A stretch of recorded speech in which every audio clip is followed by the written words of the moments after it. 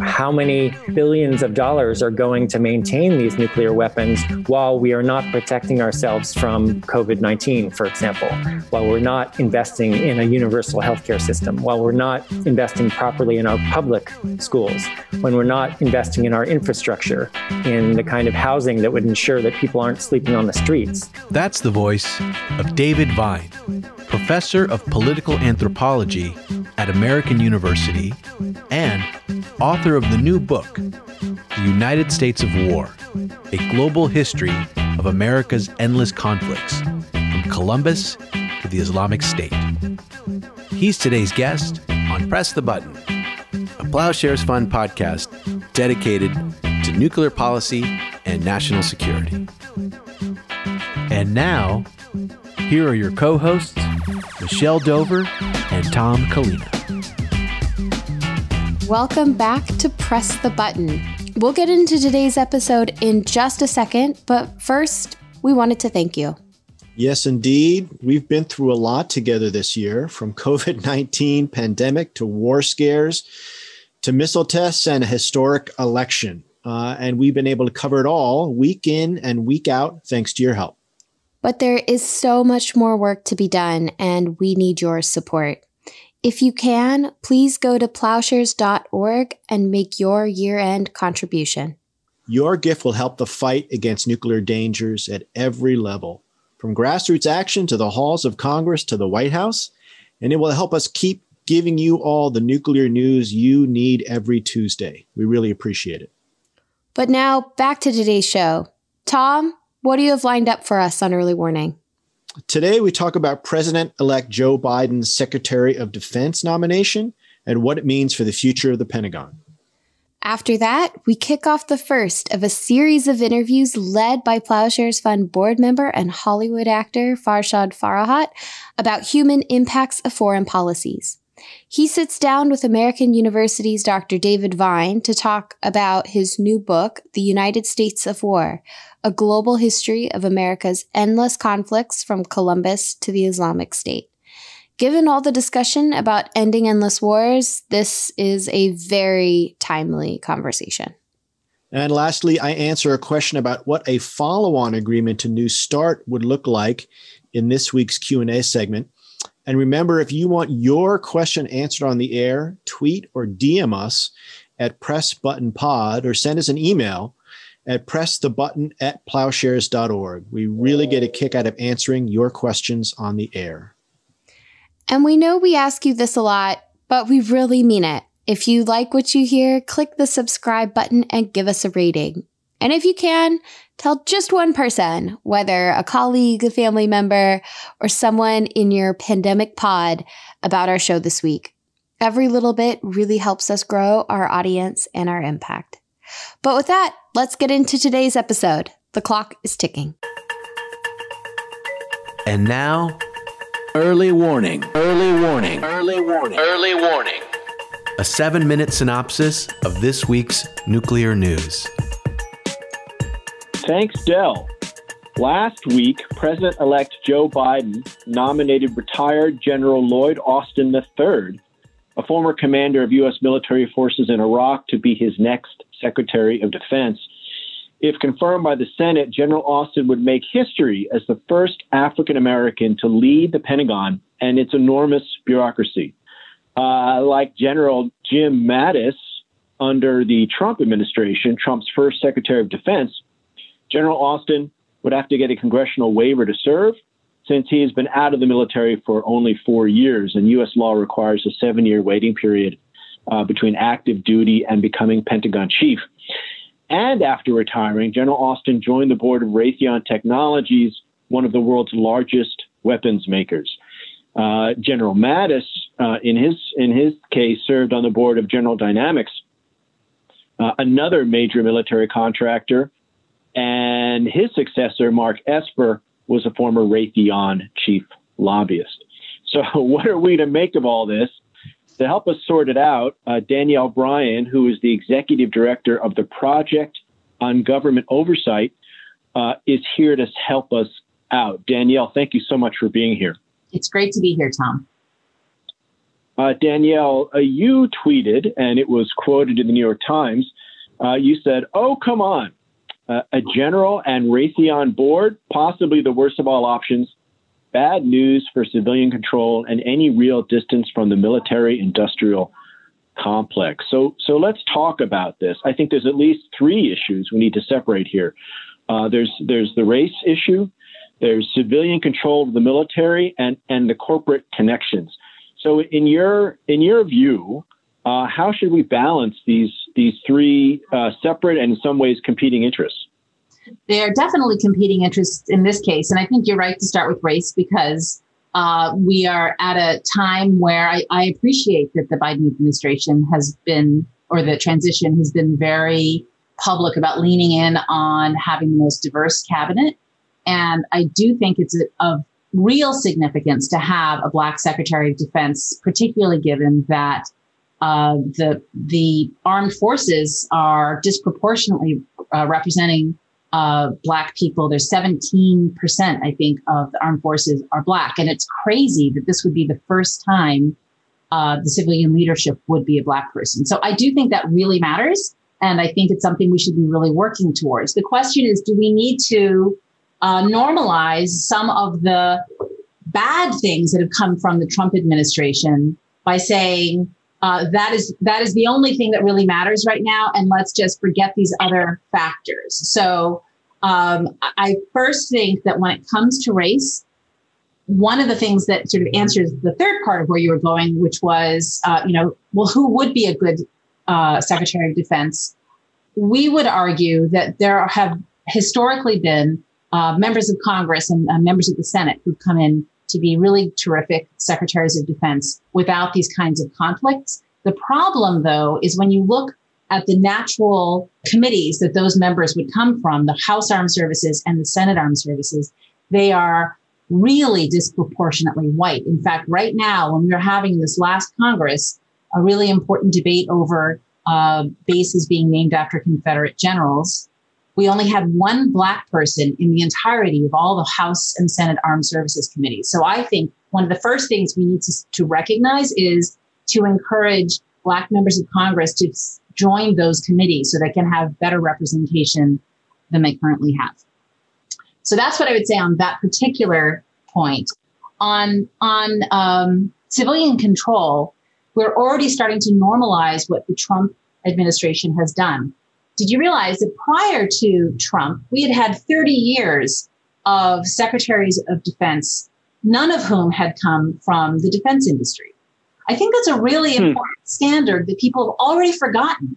And then having had Mattis as the first general to become Secretary of Defense since uh, since Eisenhower, uh, now it's become normal because it just happened. So I think that these are really important consequences that that I think if people see the history, they'll recognize there are other people who would be breaking barriers. For example, um, Senator Hirono from Hawaii is a perfect example of someone. Why is her name not being considered as someone who who would be a perfectly uh, reasonable candidate? Or Senator Claire McCaskill, former Senator Claire McCaskill, who, when she was in the Senate, was really active in um, Senate Armed Services and overseeing the Pentagon. So these are the kinds of things that I think we shouldn't be normalizing, and we should be looking to having a, um, a clearer picture of the kinds of pools of people who, sh- who should be Secretary of Defense.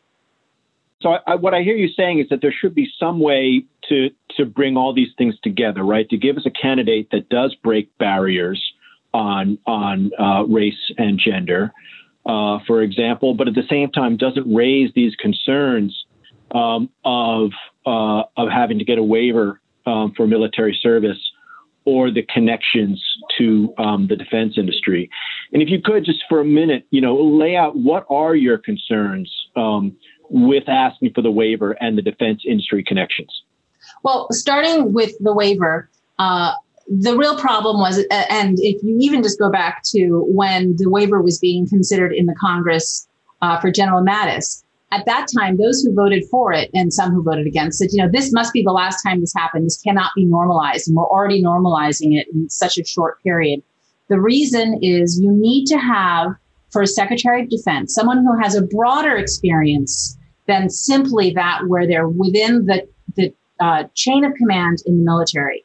The, the whole point of the structure of the military is to execute policy decisions that are being made by politicians. You now are starting to morph this question and now having the military involved in the development of the policies. And that's never been our structure, even going back to the founding of our country. You know, when you think about how George Washington, having been a general, thought it was incredibly important that he not serve as a military leader as our first president. He was a civilian leader. You look around the world at, at governments where uh, the military has too much control, and it's really alarming what you see. I mean, that's part of the foundation of our democracy is that it is run by civilians. So that's my step one on that question. And then when it comes to the military industrial complex, uh, our, our point is we have sort of this ongoing narrative of uh, throwing more money into the defense budget makes us more secure. Well, it's sort of demonstrably true that more money isn't helping us win wars. And, and at a time now with COVID where we're having a huge economic crisis and a huge uh, demand for national security needs here in the United States, we have to have someone who has uh, whose loyalties aren't coming strictly from sort of defense industry experience. And I would argue that those who are coming from the boards of the top five defense contractors, that job is to ensure, you know, the highest profit uh, margins for those companies. That's the mindset of their job when they are on those boards. That's not who we need to be the Secretary of Defense. Uh, Danielle, thank you so much. Uh, unfortunately, our time is up. There's the siren. I have a feeling we're going to be discussing this issue um, for a long time to come. Uh, but for now, thank you so much for being here. Okay, Tom, thanks.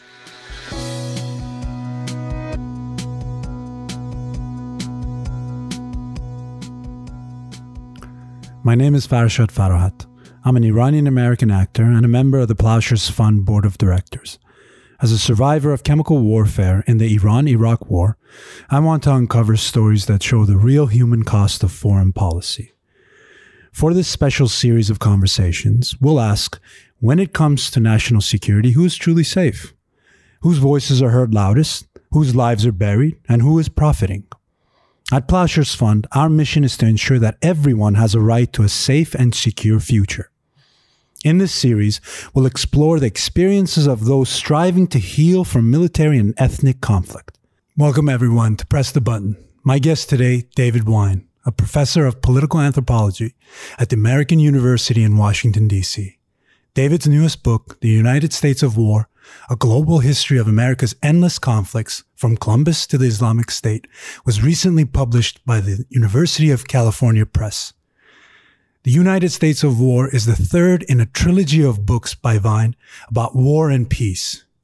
David is also a board member of Costs of War Project, a team of 50 scholars who facilitate debate about the cost of post 9 11 wars. Welcome, David, to Press the Button. Thanks so much. It's really a pleasure to be with you.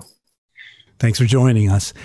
And David, I'm going to jump into a fascinating chapter in your book that caught my attention. All of it did really, but this one just hit me hard. The permanent Indian frontier. How is our military expansion around the world today linked to the United States' early wars against Native Americans? A great question, and I, I think a, a really important connection to make. My work has focused on US wars and the infrastructure that has made US wars possible for the last 19 years. That is, I've been working on this for 19 years, but I, I think for many years I have overlooked these connections, these longer term connections between the wars fought really uh, since U.S. independence against Native American peoples and nation, nations um, for for roughly the the first 100 years of the history of the United States. Um, that that we need to see the connections between those wars and the wars that are being fought today uh, across the Middle East and, and, and, beyond. The U.S. military has been fighting in uh, at least 24 countries since 2001, and you know I, I came to this book thinking that this was sort of a, an exceptional period in US history, that it was unusual that people entering college today, uh, most of them, haven't lived a single day when they can remember the United States not being at war. But as I looked more carefully at the history, I saw that this was not unusual at all, that this is part of a, a, a much longer term pattern in which the United States military has been fighting a war and some other form of combat in every year, with the exception of 11 years in US history. That's around 95% of the years in US history. And as I say in the book, I, I think it's important to, to look at the even larger context, and that is uh, to place the, the history of US wars in the context of European imperialism. Uh, that, that the United States gains its independence and leaders, US elites, white male elites, model the United States explicitly after the European empires that had been colonizing the Americas since 1492. So that's the, the context uh, in which I think we have to see the, the history of US wars and the, the history of, of, of the last now more than 19 years of, of, of war that, that followed the attacks of 9 11.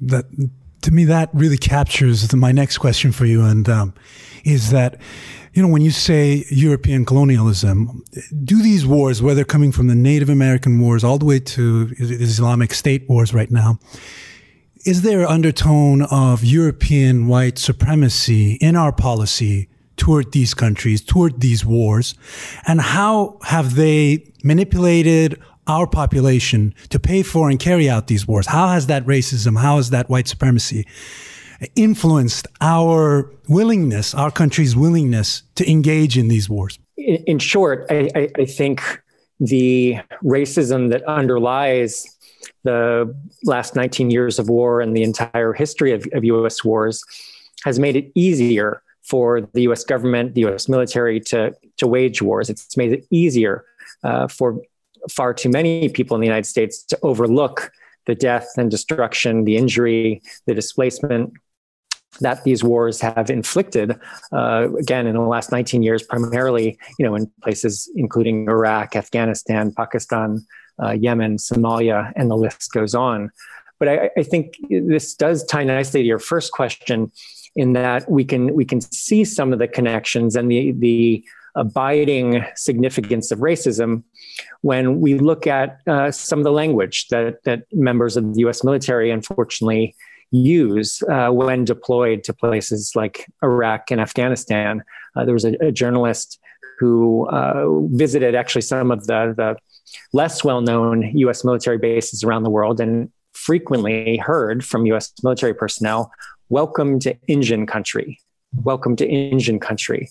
And this is, you know, not in the 19th century or 18th century. This is in the last 19 years of war.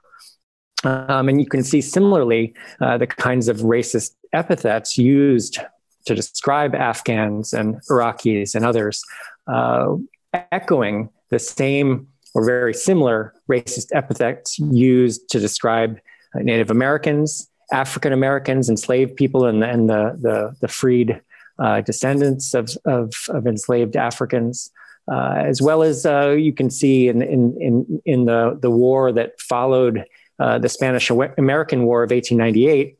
The U.S. fought, the U.S. military fought uh, a long and, and, bloody war in the Philippines uh, to essentially take over the Philippines as a colony, a war that lasted until 1913. Uh, and uh, again, you see the N word, for example, being applied to Filipinos. Uh, and, and we see similarly horrific uh, kinds of racist epithets, sadly, being used to describe uh, Afghans, Pakistanis, uh, Iraqis, and, and many others.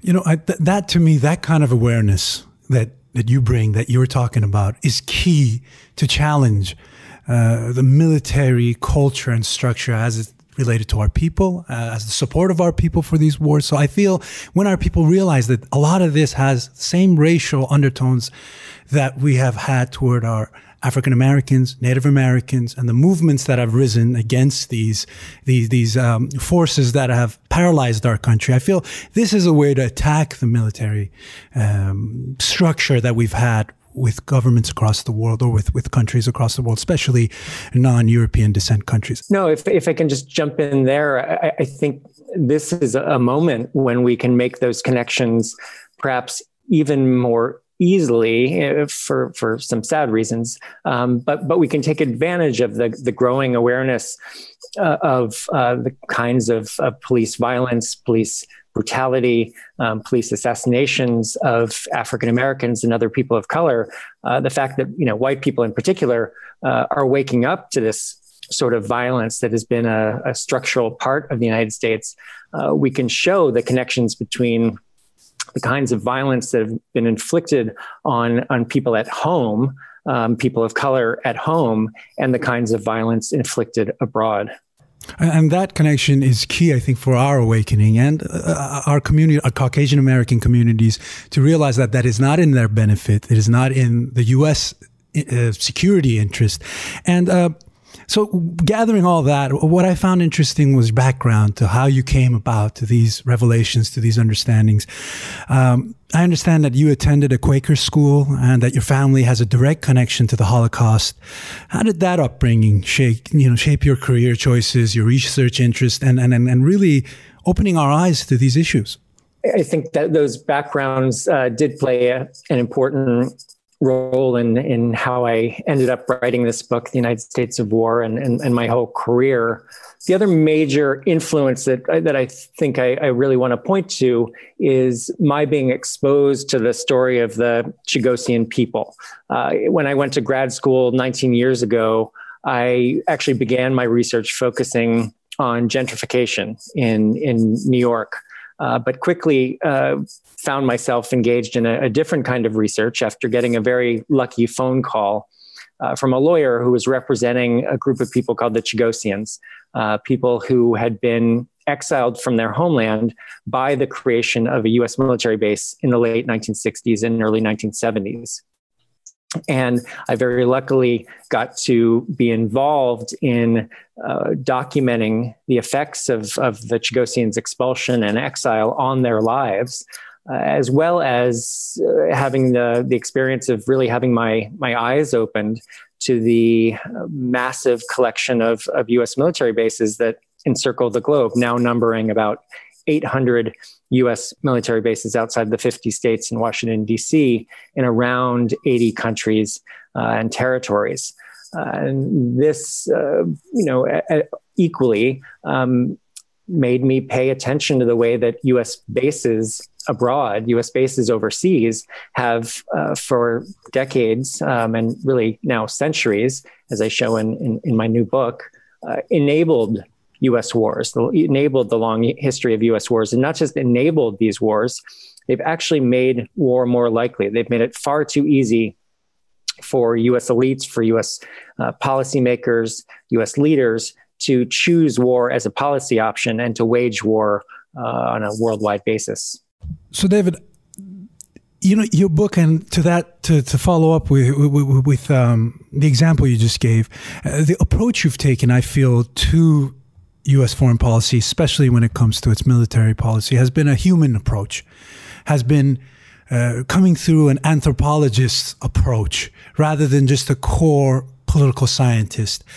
Uh, tell us about what anthropology, the understanding of the human nature, where we come from, where we can go a- as a community, how that can help us in, in really humanizing the cost of our military engagement across the world and with our own minority communities, as you mentioned here in America? I think it's a, a great question. And in many ways, I'm not a huge fan of the academic or social science disciplines, but I, I do think anthropology is helpful for a number of reasons especially when it comes to considering questions of, of, foreign policy, of international relations, that all too often I, I, I, believe are discussed in an incredibly abstract way, in ways that that really take the human beings out of the picture, out of the equation, and instead focus on on again abstract and really undefinable notions of national interest that uh,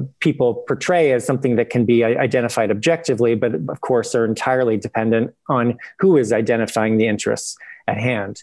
Uh, anthropology forces us to focus on the individuals involved in any any given setting, um, and for me has has has forced me uh, to focus on the human effects of war in, in any consideration of, of US wars.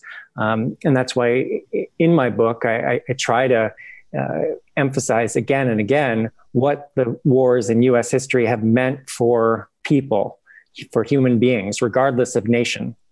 So that includes um, people who have been on the, the receiving end of US invasions, um, the people in the countries where most of the US wars have been waged, um, but also for US military personnel and their families, who I see as, generally speaking, being among the victims of war. Uh, the people who've been sent, who, of course, all, all too often um, have been disproportionately poor, um, and in more recent years, people of color. You, you know, what really stood out to me in, were several statistics and data in your book, and I'll get to both categories. But the first category, 4 million combatants and civilians have died in Afghanistan, Iraq, Syria, and Yemen due to the US led wars since 9 11. And even today, we see 80 million Iranians under sanctions, under brutal sanctions with they can't get food or medicine eh, during a pandemic because of US sanctions. These economic and military wars, how do we humanize the cost to our population, to our civilians here, who really have the ultimate say in regulating and controlling the military? In the end, it's our tax dollars that go predominantly into these wars. So, how do we mobilize? How do we humanize these numbers? Uh, to, to, our population to for them to wake up in, in, a way, and I'm not saying wake up in a derogatory way, but just wake up to understanding the human cost that's going on right now. I, I think educating people about what's going on is critical, and I, I think you're right. It, it, it's it's not a matter of uh, of waking up because uh, people are are stupid. Um, I think a lot of it is a result of the intentional policies that have been designed to either obscure or hide or um, or, or, disguise the the human effects of war, as well as, as you pointed out, the really the theft of, of money from U.S. taxpayers, the way in which uh, trillions of dollars, six point four trillion dollars, trillion with a T, six point four trillion dollars has been spent on the post 9-11 wars uh, largely without the knowledge of, of, of, people in the United States, of the people whose money that that that has been expended. Um, so I think we both have to make people in the United States aware of of the way in which uh, their money has been stolen, and and then make them aware of the really horrific damage that has been, been inflicted uh, with that money. Uh, and. I, I think most people in the United States, you know, in, in many ways, myself included, have not even begun to reckon with the the damage that that the U.S. wars just since 2001 have inflicted on Afghanistan, Pakistan, Iraq, Yemen, Somalia, Syria, and beyond. Uh, you pointed to the the estimate of, of between three and four million people dying in just five of the, the bloodiest, most violent wars the United States has been engaged in uh, since 2001. Um, this is in addition to, um, by an, an, estimate that I carried out with a group of terrific students from American University, we estimated that 37 million people have been displaced from, from the eight most violent wars the United States has been engaged in since 2001. Uh, and we can imagine the, the injuries um, uh, surely number in the tens of millions as well. Uh, most of the attention in the United States when it comes to these wars has been on the US military personnel who have died. Those lies are incredibly important too. Again, I, I think of them as among the victims of war, but I think we need to extend, um, and perhaps this is where the anthropological approach is helpful again. We need to extend our, our empathy uh, to the, the far, far larger numbers of people who've died, who've been injured, who've been displaced by the post 9 11 wars in countries uh, beyond the United States. Yes, and, and and even with our U.S. personnel, and, and whether contractors or military personnel, we don't see them on our news being the, the, the visual of them being killed, their be, them being uh, paralyzed or traumatized. Uh, we don't see the effect that they, it has on their life, the suicide rate that is extremely high amongst um, veterans. I feel if we again humanize that where we see the damage that's done. I lived through the Iran Iraq war. A million people died when in Tehran. It's brutal. It's brutal to the soldiers. There's no glorification to it. There's no glory to it. But here it seems like we glorify it. We do not show the pictures of our killed soldiers.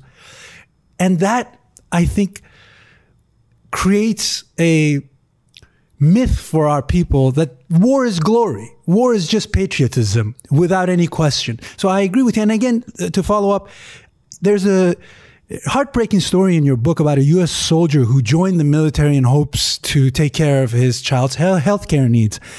And the anecdote ends it with horrendous tragedy.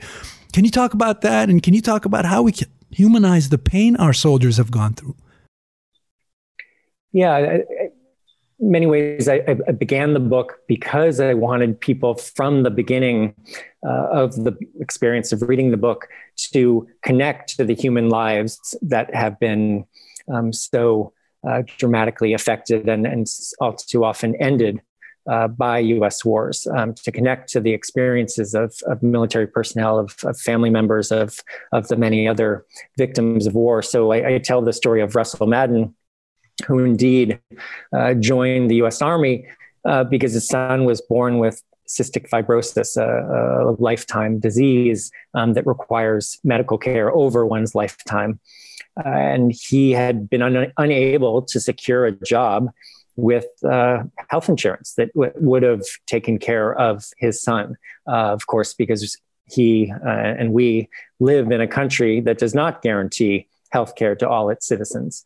Uh, so he joined the military knowing that no matter what happened to him, his son would be taken care of for life uh, as a result of, of, veterans benefits and and healthcare while he was on active duty. Uh, a year into a deployment in Afghanistan, Russell Madden was was killed in Afghanistan, uh, leaving his son without a father. Uh, and so I, I, begin this way to, to try to get readers to connect uh, with with the human damage that wars uh, cause. Uh, because as you as you said, so much of our culture in the United States glorifies war, makes uh, war look uh, look look like you know the Hollywood movies. Um, and I, I, think we you know we hear uh, frighteningly talk of of a, a, a new civil war um, in the United States, and I think people who who talk in these terms and the, the people who you know show up to protests uh, armed to the gills uh, really have no clue what what war means. I think you know people like you um, who've lived through war know how how horrific it is, um, and and I think uh, part of the work that we need to do is to uh, get beyond this glorification of war, to, to counter the glorification of war, and to overcome the, you know, again, systematic public relations campaign that the US military and the US government more broadly has waged since Vietnam uh, to uh, repair the image of the US military in the wake of Vietnam and to systematically cover up the, the human damage that these wars have caused to, so that we won't see uh, the suffering. And instead, we'll just focus on the, the sort of fantastical weapons, the, the, the glorious weapons that, that uh, TV journalists all too often celebrate. And unfortunately, the, at the pinnacle of that glorious weapon is the nuclear weapon. Uh, you know, here at Ploughshares Fund, our mission is to eliminate nuclear weapons. Uh, the word nuclear shows up in your book more than 50 times in discussing how analysts view a potential war with China or Russia, you mention one often senses a certain sports like enthusiasm in such talk, despite the potential for millions of deaths, if not planetary nuclear annihilation. I, I found that quote very telling to this point that we're talking about right now. Where, does this attitude come from? Is it unique unique to the U.S.? Uh, or is this a human, you know, as we talk about anthropology, is this just a human way of, of, of, of approaching uh, domination or our human relations? Where does this nuclear weapons and the romanticization of uh, of a nuclear war stand right now and the dangers it has? I think with nuclear war, largely nuclear weapons have fallen out of the consciousness of most people in the United States in the wake of, of the Cold War. People who were born after the Cold War don't remember living in a world where you would go to sleep not knowing if you would wake up the next morning or if there would be a nuclear war between the United States and the Soviet Union. Uh, that was a very real fear, I think, for many people in the United States and in the Soviet Union, in other parts of, of Asia and, and in, in Europe. Uh, I, I, I, think the, the, like you said, sports like enthusiasm that we hear from, I think, all too many people in uh, the, the world of, of, military relations, of, of foreign policy, um, and within the military itself about what many are perceiving as an inevitable war between the United States and China is, again, really horrifically frightening. The, the fact that they could even conceive of any kind of conflict between uh, the two countries, uh, that they could conceive of a conflict like that not spiraling out of control um, and potentially leading to nuclear war between these two nuclear armed powers is is truly frightening.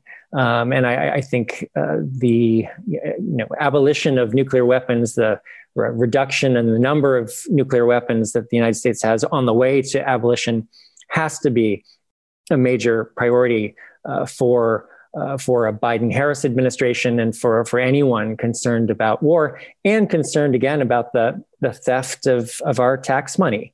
Um, you know, how many uh, billions of dollars are going to maintain these nuclear weapons while we are not protecting ourselves from COVID 19, for example, while we're not investing in a universal healthcare system, while we're not investing properly in our public schools, when we're not investing in our infrastructure, in the kind of housing that would ensure that people aren't sleeping on the streets. Um, this is the kind of theft that I'm talking to talking about and trying to point to in the book. Uh, and that, that, that point comes across very clear. It comes across that we need, you know, there, there has been two forces, I think, in our human history since 2,500 years ago, when the Persian Empire globalized the world for the first time or created global empire. Then you had Greece, Rome, Britain, and now the US they've linked racial supremacy, demagoguery, economic gain to maintain the system. But along the way, we've evolved by multiculturalism, by the technology bringing us together, bringing our economies more linked together, our cultures linked together. And I feel like we need to get to a stage where that connectivity for climate change, for fighting climate change, for, for, for fighting pandemics, for fighting poverty, that connectivity needs to grow in your opinion, where are the first steps for that cultural, economic connectivity to take place in the modern world? It's been going on. This battle's been going on, and evolution has shown that we're winning. We're more connected today. We've, we have more cu- cultural understanding of each other today. But where do we find the next step in the fight against nuclear weapons, the spending on nuclear weapons and greater war, and to focus on common enemies, climate, pandemics, poverty, etc.? It's a, a, great and critically important question, and and you know, I in my book try to focus not just on diagnosing the problems uh, when it comes to the long history of U.S. wars, but also pro- pro- providing and proposing some solutions and alternatives. And I, I, do to again to go back to your question about you know is this human? Um, is this just part of who we are as human beings? It's absolutely not. Um, anthropological research has, shown that that that it is deeply uh, our, our, the connection to war and the history of U.S. war is shaped by political and economic forces, not by some uh, inborn uh, drive or um, universal tendency. Um, there are, of course, peoples who who have not known war as uh, uh, Margaret Mead and others have, have pointed out. Um, war is not a human universal. Uh, so I think we need to take advantage of the COVID pandemic, in fact. And this is something that, that is connecting people around the world in, in the sense of people around the world are, are having common experiences of being afflicted by the, the COVID pandemic and attempting to respond. And the kinds of mutual aid efforts we've seen around the world um, should inspire us and show us that, that, that we can build deeper connections across nations. Uh, equally, the kinds of protests we've seen around the world, the kinds of protests here in the United States, the movement for Black Lives, the Black Lives Matter movement, um, which then has inspired people to protest against police brutality, again, on a worldwide basis, in addition to, to protests that have been building from Latin America uh, to Asia to Europe to Africa, uh, really uh, uh, around the world, um, should be inspiring and should be something upon which we can and must build. Again, equally, uh, the the protests um, to properly address global warming, climate change, um, led by young people, uh, should be a model we can build on. And you know, one of the things I, I try to argue in the book is that all too often movements are are segmented from one another. Uh, and we need to try to, to bring movements together to show how um, the anti, anti-nuclear movement, the anti-war movement is and must be intimately connected to the, the movement to address climate change, global warming. Um, is intimately connected to the, the struggle against racism, against poverty, uh, against homelessness, um, beginning with the money. Um, the fact that the, the, the trillions of dollars the United States has invested in war is money that could have been spent to transform the US economy into a green economy. It could have been spent to mitigate the effects of global warming and the displacement we're likely to see. It could have been spent to address poverty, to end hunger, um, to end homelessness. Uh, so I, I, think this sort of cross movement uh, networking and cross movement uh, building of a sort of supra movement of movements um, is is really critical if we're going to address the world's problems. David, that's a great ending to our um, session here. That's exactly what we need, and that is going to be developing in hopefully the years and decades to come. Uh, I hope everybody checks out David's book, The United States of War. David, thank you, and we hope to hear and read more from you. Thank you, sir. Thank you so much for having me. It was a great conversation.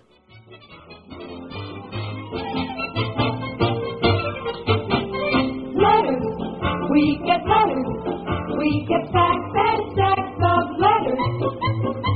And now, everyone's favorite nuclear question and answer time.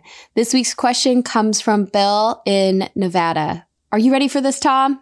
Bring it on, Michelle. Bill asks, we hear about the New START treaty, but fairly little about what will follow it.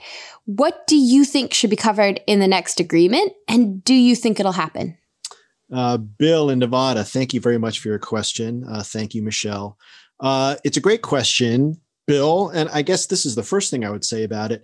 Um, given what we know about what the Senate is going to look like, kind of regardless of what happens uh, in Georgia in January, I would suggest the Biden administration that as they go beyond New START, they should think about alternatives to treaties. Uh, because as we know, if the Biden administration goes for a treaty with Russia, uh, they'll have to seek two thirds support from the US Senate.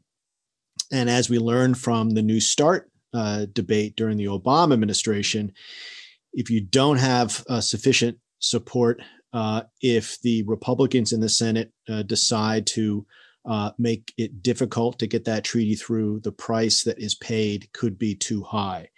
And certainly in the New START experience, we wound up uh, with, in exchange for Republican votes on New START, having to uh, go for a modernization program of the nuclear arsenal that is now upwards of two trillion dollars. Um, so I would I would strongly caution against going for another treaty at this point. But that doesn't mean we can't do things. There's plenty that can be done by executive agreement uh, between the United States and Russia. And those things should be the kind of things you would expect in a follow on treaty. For example, lowering the top line of deployed nuclear weapons. Uh, right now, the New START treaty is at 1,550 deployed strategic weapons. I would love to see that come down uh, to a thousand or less, uh, I think we need to start lowering the numbers dramatically. To do that, we're going to have to talk about missile defense with the Russians. The Russians are very concerned, particularly as they get to lower numbers, that US missile defenses will interfere with their ability to retaliate to a possible but highly unlikely US strike. Uh, not having it be a treaty would make that discussion more possible uh, because it would be very difficult to get any kind of limitations on missile defenses um, through the Senate. But if it's an executive agreement, uh, that opens up new avenues to limit missile defense.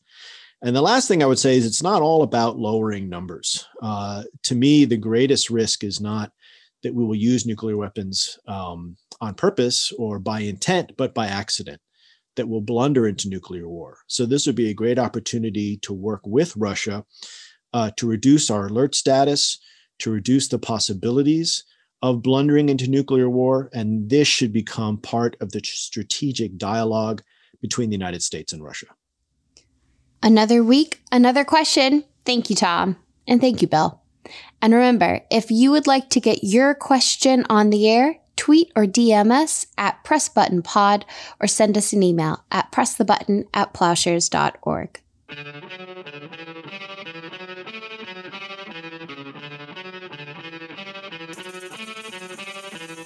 Thanks for listening to Press the Button.